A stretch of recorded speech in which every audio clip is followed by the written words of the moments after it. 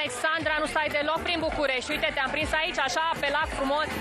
Pe de asta am și ieșit, că profit de cele, nu știu, două, trei săptămâni în care sunt pe aici și ies în lume, să nu pierd pulsul uh, a ceea ce se întâmplă. Plus că trebuie să filmez și o videoclip, pregătesc un proiect foarte, foarte interesant. Era cazul.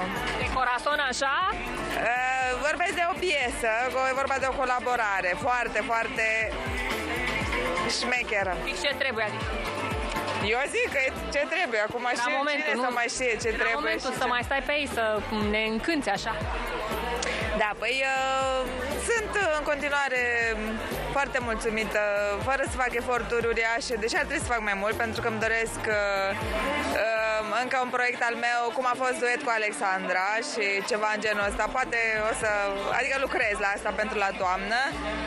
Dar uh, în rest sunt mulțumită că vin o grămadă de lucruri frumoase spre mine care înseamnă ceea ce eu comunic. Modă, muzică și călătorii. Din călătorii mă încarc, dar și uh, au- se pare că au succes foarte mare la public. Na, și oricum e vară, lumea urmărește pe unde să mai ducă, ce să mai facă și încerc să vin cu propuneri din toate zonele. Ai transformat încet, încet și un- într-un travel influencer.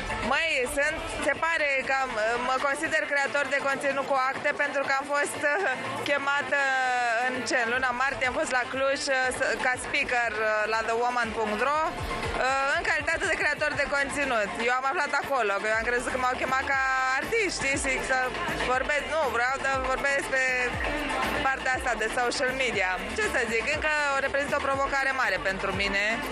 Uh, nu pot să zic că știu uh, cu toate culisele și frâiele, că se schimbă algoritmul, știi cum e acum face depresie că nu sunt cifrele cele așteptate pe măsura eforturilor, că fac eforturi.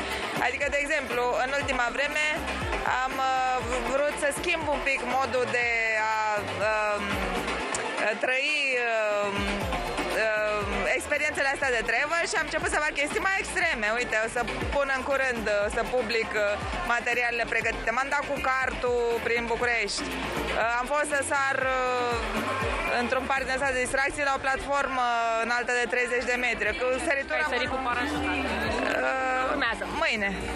Serios? Și nu ți-e frică? Va- da. Și de ce trebuie să faci asta? Uh, Mai nu trebuie, nimic în viață nu trebuie, dar uh, mi-am propus să-mi înving niște, să-mi înving niște frici pe care le am. Eu sunt claustrofobă, mi-e frică de înălțime, mi-e frică să zbor cu avionul. Și mi se pare că e așa neplăcut să am aceste încorsetări. Eu când plec în vacanță mă bucur cu când aleg și două, trei săptămâni înainte, mamă, mă duc când vii cu două, trei zile înainte nebunesc, că mi-e groază de zborul ăla, fac, avion, fac bagajele și plâng de deci sunt depresivă. Și cu Anca Serea, nu zbura. Doamne, Da, Anca nu zboară deloc, tu măcar te mai... eu zbor într-una, n-am ce, deci cui pe cui să scoate, cu, am zis, dar nu funcționează, adică mi-e frică la fiecare zbor, la fiecare uh, variație de zgomot, eu nu pot să dorm, mai adorm toți uh, leșinați lângă mine, eu ascult dacă s-a schimbat ceva imediat, febră musculară la partea dorsală. Unde mai Mă pleci? rog. Ce ne mai pregătești? Adică destinația exotică a acestei vechi cu tine. Dragă, pe exotism uh, mai uh, am niște discuții în septembrie, o, o că- plecare în Tunisia, probabil o Grecia, așa mai pe final de sezon, început de octombrie, pe chill. Uh, Vara asta sunt pe concerte. A, uite, mi-am luat în iulie, plec la Londra să o revăd a doua oară în viață, posibil și ultima, că na, are și doamna o vârstă, mă refer la Shania Twain, care este inspirația mea. De fapt nu pot spune că e inspirație, dar e artistul meu preferat, deși nu-mi place de ea cum se îmbracă, dar îmi place vocea și repertoriul ei, o ador și e parte din sufletul meu de când eram în liceu. Și are mare concert în Hyde Park, în Londra, împreună cu alți artiști uh, care au fost așa printre preferințele mele din liceu The Course. Și mai sunt, cred că și Anne Marie, Natalie Imbruglia, tot felul de doamne care mai de care și mă duc uh, trei zile la Londra și în rest uh, pe la noi cu tot felul de proiecte în continuare pe zona de fashion sunt solicitată la Fashion Week-uri și voi merge.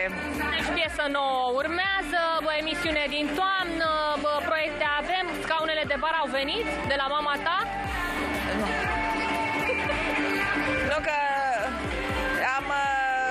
mă hotărâsem la un model, dar trebuia să-mi trimită mostră de material uh, pentru că nu cele din catalog, vroiam altă nuanță, un tiramisu așa. Și au, acum bine că m-ai întrebat, că a uitat să întreb. Din februarie a uitat. Lasă-le încolo, du-le încolo de scaune de bar. Uh, e ok, locuiesc cu mama și e foarte bine.